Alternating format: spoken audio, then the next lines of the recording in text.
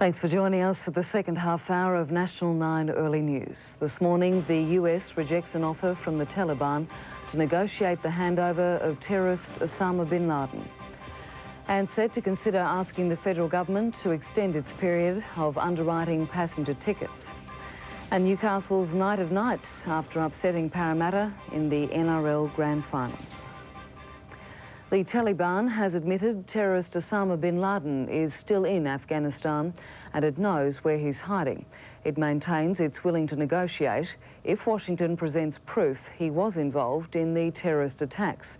But the US has refused the offer, saying it won't negotiate. This afternoon, the Taliban confirmed for the first time that they know where Osama bin Laden is